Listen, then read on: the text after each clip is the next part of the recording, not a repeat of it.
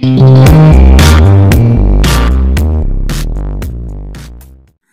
பேசும் அனைத்து சரசர்களுக்கும் இனிய வணக்கம். நான் உங்கள் புகழ்ந்து வலசன் இந்த பதில் நம்ம எதை பத்தி டிஸ்கஸ் பண்ண போறோம்னா ஃபுல் அண்ட் ஃபுல் பார்த்தீங்கன்னா வந்து ஸ்டூடெண்ட்ஸ் பத்தி மட்டுமே இருக்க போது ஸ்டூடெண்ட்ஸ் ஃபீச்சரை பத்தி இருக்க போது. எஸ் எதை பத்தி அப்படின்னா இப்ப ஃபைனல் இயர் ஸ்டூடெண்ட்ஸ்க்கு எக்ஸாம் வைக்கக்கூடிய சுச்சுவேஷன்ல யூனிவர்சிட்டிஸ் எல்லாம் பார்த்தீங்கன்னா வந்து எக்ஸாம் கண்டக்ட் பண்ணக்கூடிய ப்ரொசீஜருக்கு போயிட்டாங்க. அதை எதிர்த்து ஒரு மூணு ஸ்டூடெண்ட்ஸ் பார்த்தீங்கன்னா வந்து கொஸ்டின் வந்து ரைஸ் பண்றாங்க. எங்கன்னு பார்த்தீங்கன்னா வந்து டெல்லி ஹைகோர்ட்ல. சோ என்ன நடக்குது அப்படின்றத இந்த பதில பார்க்க போறோம். சோ அஸ் ஏ மாணவரா அஸ் ஏ ஸ்டூடெண்ட்ஸா நம்ம ஒரு யூனிவர்சிட்டி எதிர்த்தோ இல்ல மேனேஜ்மெண்ட் எதிர்த்தோ ஒரு ஆர்டர் பாஸ் பண்றாங்க. அந்த ஆர்டருக்கு எதிராக நம்ம வந்து கொஸ்டின் ரைஸ் பண்ண முடியுமா? நம்ம கேட்க முடியுமா? அப்படின்னு கேட்டீங்கன்னா சோ நிறைய பேர் வந்து கொஸ்டின் வந்து கேட்க மாட்டோம். சப்போஸ் அந்த ஆர்டர் வந்து நம்மளுடைய ரைட்டை வயலேட் பண்ணுது இல்ல நம்மளுடைய செய்ய முடியாத ஒரு சூழல் இன்கன்வீனியன்ஸை வந்து ஏற்படுத்துது. சோ அப்படி இருக்கக்கூடிய ஒரு ஆர்டரை நம்ம ஒபே பண்ணி ஆகணும் அப்படின்னு சொல்லிட்டு ஒபே பண்ணுவீங்களா? இல்ல நம்மளால செய்ய முடியாத சூழல் இருக்கும்போது அது செய்ய முடியாது அப்படின்றத அவங்க கிட்ட ரிக்வஸ்டாவோ இல்ல பெட்டிஷனாவோ வந்து ஃபைல் பண்ணுவீங்களா? நம்மள நிறைய பேர் அதெல்லாம் கேட்க மாட்டோம் அமைதியாவே இருப்போம். ஆனா டெல்லியில இருக்கக்கூடிய யூனிவர்சிட்டியில ஒரு மூணு ஸ்டூடெண்ட்ஸ் பத்தி வந்து பிரபயான் சக்கரவர்த்தி அண்ட் விஷால் திருப்பதி அப்படின்ற இந்த மூணு ஸ்டூடெண்ட்ஸ் டெல்லி லா யூனிவர்சிட்டி வந்து படிச்சிட்டு இருக்காங்க. சோ இவங்க பாத்தீங்கன்னா ஜூலை சிக்ஸ்த் அன்னைக்கு ஒரு பெட்டிஷன் ஃபைல் பண்றாங்க. எங்க அப்படின்னா டெல்லி ஹைகோர்ட்ல இருந்து பெட்டிஷன் ஃபைல் பண்றாங்க. எதுக்காக அப்படின்னு பார்த்தீங்கன்னா வந்து இந்த டெல்லி யூனிவர்சிட்டி என்ன பண்றாங்கன்னா சோ ஜூன் தேர்ட் அன்னைக்கு ஒரு அனௌன்ஸ்மெண்ட் கொடுக்குறாங்க எக்ஸாம்ஸ் இல்ல சோ என்ன அனௌன்ஸ்மெண்ட் அப்படின்னு பார்த்தீங்கன்னா வந்து மே டுவெண்ட்டி செவன் பிசிஐ பார்த்தீங்கன்னா வந்து ஒரு அனௌன்ஸ்மெண்ட் டிக்ளேர் பாஸ் பண்றாங்க.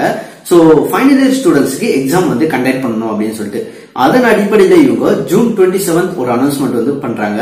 அதன்படி பார்த்தீங்கன்னா வந்து ஜூலை டென்த் அன்னைக்கு two thousand twenty July tenth அன்னைக்கு எக்ஸாம் கண்டக்ட் பண்ண போறதா? ஒரு நோட்டிபிகேஷன் வந்து ஜூலை தேர்ட் அன்னைக்கு பப்ளிஷ் பண்றாங்க. இது எல்லா ஸ்டூடெண்ட்ஸ்க்கும் வந்து போய் சேருது. அந்த டெல்லி யூனிவர்சிட்டியில இருக்கிறவங்களுக்கு. ஆனா ஸ்டூடெண்ட்ஸ்னுடைய மென்டாலிட்டி என்ன? அவங்க இந்த பேண்டமிக் பீரியட்ல சோ ஒரு கிரிட்டிக்கல் சுச்சுவேஷன்ல அவங்களோட ஹோம் டவுன்ல வந்து இருக்காங்க. நிறைய பேர் அவங்க கிட்ட ஸ்டடி மெட்டீரியல்ஸும் கிடையாது. இன்டர்நெட் அசிஸ்டபிலிட்டும் வந்து கிடையாது அப்படின்ற சுச்சுவேஷன்ல அவங்களுடைய குறைகளெல்லாம் வந்து இந்த யூனிவர்சிட்டியை வந்து என்னெல்லாம் இருக்கு அப்படின்றத அனலைஸ் பண்ணி பார்க்க மாட்டாங்க. அவங்களுக்கு எக்ஸாம் கண்டக்ட் பண்ணி ஆகணும். அவங்களுடைய மேலிடத்துல இருந்து பிசிஐல இருந்தோ இல்ல பதில் வந்து யூஜிசியில இருந்தோ கைட்லைன்ஸ் வந்து வந்துருச்சு அனௌன்ஸ்மெண்ட் வந்துருச்சு. அதன் அடிப்படையில இவங்க எக்ஸாம் வச்சாகணும். அவ்வளவுதான் அவங்களுடைய கான்செப்ட் பட் ஸ்டூடெண்ட்ஸுடைய மென்டாலிட்டி என்ன அப்படின்றத நம்ம தான் நம்மளுடைய தேவைகளை எடுத்து வைக்கணும். நம்மளுடைய ரைட்ஸ் வைலேட் ஆகுது அப்படின்னா நம்ம தான் கொஸ்டின் வந்து கேட்கணும். இது வேற யாரும் கேட்க மாட்டாங்க. ஸோ அந்த மாதிரி இந்தியாவில் இருக்கக்கூடிய ஒவ்வொரு ஸ்டூடெண்ட்ஸ்க்கும் இந்த மூணு ஸ்டூடெண்ட்ஸ் வந்து முன்னுதாரணமா கேள்விகளை கேட்கறாங்க. ஸோ இந்தியாவில் இருக்கக்கூடிய ஒவ்வொரு ஃபைனல் இயர் ஸ்டூடெண்ட்ஸ்க்கும் சரி ஸோ படிச்சுட்டு இருக்கக்கூடிய காலேஜ் ஸ்டூடெண்ட்ஸ்க்கும் சரி இவங்க இந்த கொஸ்டின் கேட்கறதுனால மிகப்பெரிய சேஞ்சஸ் கண்டிப்பா வந்து வரும். ஸோ எக்ஸாமை கேன்சல் பண்ணணும் அப்படின்ற ரெக்வஸ்ட் வைக்கிறாங்க. அப்படி என்னதான் நடக்குது அப்படின்னு பார்த்தீங்கன்னா வந்து பார் கவுன்சில் ஆஃப் இந்தியா பார்த்தீங்கன்னா வந்து மே டுவெண்ட்டி செவன்த் பார்த்தீங்கன்னா வந்து ஒரு டிக்ளரேஷன் வந்து பாஸ் பண்றாங்க. ஸோ கைட்லைன்ஸ் அடிப்படையில் யூஜிசியுடைய கைட்லைன்ஸ் அடிப்படையில் ஸோ ஆன்லைன்ல எக்ஸாம் ஓட வைக்கணும் அப்படின்னு சொல்லிட்டு. இதன் அடிப்படையில் டெல்லி யூனிவர்சிட்டி என்ன பண்றாங்க அப்படின்னு பார்த்தீங்கன்னா வந்து அவங்க ஓப்பன் புக் எக்ஸாமினேஷன் வந்து கண்டக்ட் பண்ண போறாங்க. புக்கை வச்சுக்கிட்டே எக்ஸாம் வந்து எழுதலாம். அதாவது வீட்டில இருந்தே வந்து எழுதலாம் அப்படின்ற ஒரு ஆன்லைன் மோட கண்டக்ட் பண்ண போறாங்க. சரி ஓகே ஆன்லைன்ல எழுத முடியாதவங்களுக்கு அவங்க இன்னொரு way of other way of ஆப்ஷனும் வச்சிருப்பாங்க. ஸோ அந்த வேலையும் வந்து ஸ்டூடெண்ட்ஸ் வந்து எழுதிக்கலாம் அப்படின்றது. ஆனா இது எல்லாருக்கும் சூட்டபிளா இருக்குமான்னு கேட்டீங்கன்னா கிடையாது. இந்த மூணு ஸ்டூடெண்ட்ஸ் என்னென்ன ரிக்வஸ்ட் எல்லாம் வச்சாங்க அப்படின்னு பார்த்தீங்கன்னா வந்து ஃபர்ஸ்ட் ஒன்று பார்த்தீங்கன்னா வந்து டுவெண்ட்டி ஃபைவ் பர்சன்டேஜ் ஸ்டூடெண்ட்ஸ் மட்டும்தான் இன்டர்நெட் அவைலபிலிட்டியும் அதாவது நெட்ஒர்க் அவைலபிலிட்டியும் ஸ்மார்ட் போனோ இல்ல லேப்டாப்போ அசிசபிலிட்டியோ வந்து வச்சிருக்காங்க. டுவெண்ட்டி ஃபைவ் பர்சன்டேஜ் ஸ்டூடெண்ட்ஸ் தான் மற்றவங்களுக்கு அதாவது ஸோ இந்த ஸ்மார்ட் ஃபோனோ இல்லை வந்து இன்டர்நெட் அபிலிட்டியும் இல்லை வந்து லேப்டாப்போ ஏதோ ஒரு வந்து இல்லாமல் வந்து இருக்கு. ஸோ இப்படி பார்த்தீங்கன்னா வந்து இருபத்தஞ்சு பர்சன்டேஜ் ஸ்டூடெண்ட்ஸ் கிட்ட மட்டும் தான் இது இருக்கு. இவங்க வந்து ஆன்லைன் எக்ஸாம் கொண்டு வந்தாங்க அப்படின்னா டுவெண்ட்டி ஃபைவ் பர்சன்டேஜ் ஸ்டூடெண்ட் மட்டும் தான் எழுத முடியும். அப்போ மீதி பேருனுடைய நிலைமைகள் என்ன அப்படின்றது ஒரு கேள்வி. ரெண்டாவது ஒன்று பார்த்தீங்கன்னா வந்து அசாம்ல ஒரு பதினாறு வயசுல ஒரு ஸ்டூடெண்ட்ஸ் என்ன பண்ணுறான் அப்படின்னா ஆன்லைன் கோச்சிங் வந்து அட்டன் பண்ண முடியல. அவங்க கிட்ட ஸ்மார்ட் போன் இல்லாதனால. சோ இல்லாதனால என்ன பண்றான்னா வந்து சூசைட் பண்ணி இறந்துக்கிறான். ஸோ இதனால இதையும் வந்து டினோட் பண்றாங்க அந்த கேஸ்க்குள்ள இந்த மாதிரியும் மாணவர்கள் எக்ஸாம் எழுதி கிளியர் பண்ண முடியல எக்ஸாம் அட்டன் பண்ண முடியல அப்படின்னும் போது அவர்களுக்கும் இந்த மாதிரி சுச்சுவேஷன் வந்து உருவாகும் அப்படின்றத ஸோ இதன் மூலியமா நம்ம வந்து தெரிஞ்சுக்கணும். ஸோ இது மிகப்பெரிய ஒரு இம்பாக்டை வந்து ஏற்படுத்தும். சப்போஸ் எக்ஸாம்ஸ் வந்து கண்டக்ட் பண்றாங்க ஆன்லைன் எக்ஸாம் வந்து வைக்கிறாங்க. இதனால சில மாணவர்கள் வந்து ஃபெயில் ஆனாங்க அப்படின்னா மார்க் குறையுது அப்படின்னும் பொழுது அவங்களுடைய சுச்சுவேஷன் எப்படி இருக்கும்? அவங்களுடைய மென்டல் ஸ்ட்ரெஸ் எல்லாம் யார் வந்து ரிலீஸ் பண்ணுவாங்க? இந்த மாதிரி எல்லாரும் தனித்து ஒரு முடிவை வந்து எடுத்தாங்க அப்படின்னா என்ன நடக்கும் அப்படின்றதெல்லாம் சோ இந்த கேஸ் வந்து சோ இந்த மாதிரியான இந்த பதினாறு வயசுல இருந்து இறந்த இந்த மாணவனுடைய ஃபைலும் பார்த்தீங்கன்னா வந்து இதுல வந்து இன்க்ளூட் பண்றாங்க. சோ இதையும் வந்து சொல்றாங்க. சரி ஓகே மூன்றாவது என்ன வைக்கிறாங்க அப்படின்னு பாத்தீங்கன்னா வந்து இப்போ எல்லாரும் ஹோம் டவுன்ல இருக்காங்க. இந்த பேண்டமிக் பீரியட்ல எல்லாரும் பாத்தீங்கன்னா வந்து சோ ஹாலிடேல வந்து ஹோம் டவுனுக்கு வந்திருப்பாங்க. சில பேர் அந்த டிஸ்ட்ரிக்ட் போயிருப்பாங்க. சில பேர் அவங்களோட ஓன் டிஸ்ட்ரிக்ட்லயே பாத்தீங்கன்னா அதர் ஸ்டேட்ல வந்து ஸ்டே பண்ணிருப்பாங்க சோ இதனால அங்கேயே ஸ்டக் ஆயிருப்பாங்க. அவங்ககிட்ட ஸ்டடி மெட்டீரியல்ஸும் கிடையாது. எல்லாமே ஹாஸ்டல்லே காலேஜ்ல வந்து டிராப் பண்ணிருப்பாங்க சோ எதுவுமே ஸ்டடி மெட்டீரியல்ஸ் கிடையாது. ஹார்ட் காப்பீஸும் கிடையாது. சப்போஸ் பிடிஎஃப் ஆவோ இல்ல டாக்குமெண்ட் ஃபைலாவோ இருக்கு அப்படின்னாலும் புவர் பீப்புள்ஸ் நிறைய பேர் இருக்காங்க. அவங்களால பிரிண்ட் அவுட் எடுத்து படிக்க முடியாது.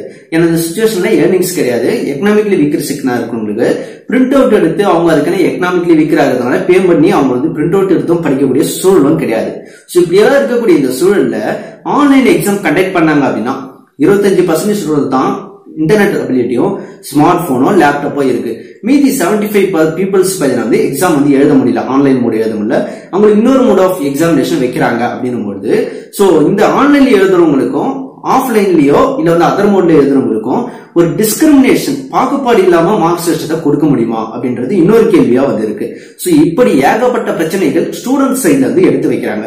ஸோ இவ்வளவு பிரச்சனைகள் இருக்கும்போது இந்த எக்ஸாம்ஸ் வந்து கண்டக்ட் பண்ணணும்னு சொல்லிட்டு டெல்லி யூனிவர்சிட்டி வந்து ஸோ அவங்களுடைய டிக்ளரேஷன் வந்து சப்மிட் பண்ணிட்டாங்க. அவங்க மேல இடத்துல வந்த நோட்டிபிகேஷன் அடிப்படையில. ஸோ இது இருந்து மாணவர்கள் பத்தின வந்து ஸோ டெல்லி ஹைகோர்ட்ல வந்து பெட்டிஷன் வந்து ஃபைல் பண்றாங்க. மேலும் என்ன இவங்க ஃபைனலா என்ன கேட்கறாங்க அப்படின்னு பாத்தீங்கன்னா வந்து நோ எக்ஸாமினேஷன் அப்படின்ற ஒரு ஸ்கீமை கொண்டு வரணும் அப்படின்றத சொல்றாங்க. இதுக்கு நம்ம ரீசன்ட் நடந்த இன்னொரு கேஸையும் வந்து உள்ள கொண்டு வராங்க. என்ன அப்படின்னு பார்த்தீங்கன்னா வந்து central board of secondary examination CBSE அதாவது வந்து சுப்ரீம் கோர்ட் ஒரு டிக்ளரேஷன் வந்து கொடுத்தாங்க. கிட்டத்தட்ட ஜூன் டுவெண்ட்டி சிக்ஸ்த் நினைக்கிறேன். எஸ் ஜூன் டுவெண்ட்டி சிக்ஸ் வந்து டென்த்துக்கும் டுவெல்த்துக்கும் பார்த்தீங்கன்னா வந்து நோ எக்ஸாமினேஷன் அப்படின்ற ஒரு சிஸ்டம் ஆல்மோஸ்ட் பார்த்தீங்கன்னா டென்த்து வந்து எக்ஸாமே எழுதல. அவங்களுக்கு ப்ரீவியஸா எழுதின அந்த காலாண்டில் நடந்தோ ஆஃபர் நடந்த மார்க் சிஸ்டத்தின் அடிப்படையில ஸோ அவங்களுக்கு ஒரு அசைன்மெண்ட் பேஸ் பண்ணி மார்க் சிஸ்டத்தை வந்து ப்ரொவைட் பண்ணும் அப்படின்றதும் டுவெல்த் ஸ்டூடெண்ட்ஸ் சில பேர் வந்து எக்ஸாம் எழுதலாம் அவங்களுக்கும் பார்த்தீங்கன்னா எக்ஸாம் இல்லாம ப்ரீவியஸ் மார்க்ஸை வச்சு அவங்களுக்கு வந்து நோ எக்ஸாமினேஷன் ஸ்கீம்ஸை கொண்டு வந்து அசைன்மெண்ட் பேஸ் பண்ணியும் அவங்களுக்கு ஃபைனல் ரிசல்ட்டை சப்மிட் பண்ணிடலாம் அப்படின்றதையும் ஸோ சுப்ரீம் கோர்ட் பார்த்தீங்கன்னா வந்து ஒரு டிக்ளரேஷன் கொடுத்தாங்க. எப்போ அப்படின்னு பார்த்தீங்கன்னா சோ ஆல்மோஸ்ட் பாத்தீங்கன்னா வந்து ஜூன் டுவெண்ட்டி சிக்ஸ் நினைக்கிறேன். ஜூன் டுவெண்ட்டி சிக்ஸ் டிக்ளரேஷன் வந்து கொடுத்தாங்க. இந்த கேஸ் அவங்க வந்து டினோட் பண்றாங்க. சோ இந்த கேஸ்ல இந்த மாதிரி கொடுத்துருக்காங்க. எங்களுக்கும் இந்த மாதிரி கிரிட்டிக்கல் சுச்சுவேஷன் நிறைய இருக்கு ஃபைனல் இயர் ஸ்டூடெண்ட்ஸுக்கும் சோ அதனால எங்களுக்கும் இதே மாதிரி கேஸ் மூலியமா பாத்தீங்கன்னா வந்து மாணவர்கள் அஃபெக்ட் ஆகக்கூடாது அப்படின்றதுக்காக எங்களுக்கும் இந்த மாதிரி பாத்தீங்கன்னா வந்து சொல்யூஷனை வந்து கொடுங்க ஜட்ஜ்மெண்ட் வந்து கொடுங்க அப்படின்னு சொல்லிட்டு அவங்களுடைய பெட்டிஷனா ரிக்வஸ்ட் வந்து வச்சிருக்காங்க. சரி ஓகே இந்த ரிக்வஸ்ட அஸ் ஸ்டூடெண்ட்ஸா நீங்க என்ன பாக்குறீங்க? நீங்க எப்படி வந்து ஃபீல் பண்றீங்க? இவங்க கேட்கிற கொஸ்டின் சரியா? அப்படின்றத உங்களுடைய கருத்துக்களும் கமெண்ட்ல வந்து லீவ் பண்ணுங்க. நாளைக்கு உங்களுடைய தேவைகளும் நீங்க உங்களுடைய யூனிவர்சிட்டியும் உங்களுடைய மேனேஜ்மெண்ட்லயும் உங்களுடைய பிரின்சிபல் கிட்டையும் நீங்க கொஸ்டின் கேட்பீங்களா கேட்க மாட்டீங்களா? உங்களுடைய ரைட்ஸ் வயலேட் ஆச்சு அப்படின்னா அதையும் நீங்க கமெண்ட்ல லீவ் பண்ணுங்க. ஸோ இப்போ ஒவ்வொரு மாணவர்களுக்கும் அவங்களுடைய உரிமைகள் இருக்கு. உங்களுடைய ரைட்ஸ் வயலேட் ஆச்சு அப்படின்னா நீங்களும் தாராளமா கேள்விகளை வந்து கேட்கலாம். ஸோ அதை இந்த கேஸ்ல இருந்து நம்ம தெரிஞ்சுக்கிறோம். ஸோ உங்களுடைய கேள்விகள் தாராளமா கேளுங்க. இதை பத்தியான கருத்துக்களை கமெண்ட் பாக்ஸ்ல லீவ் பண்ணுங்க. Love you to all and bye bye take care